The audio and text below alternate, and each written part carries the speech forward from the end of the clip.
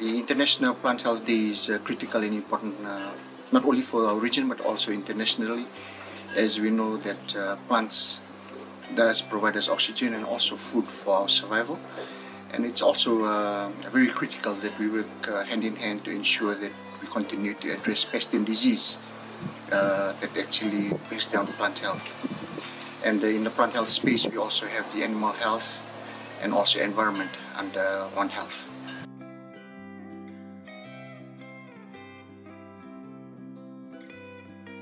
Biosecurity is uh, critical to protecting our plant health and resources.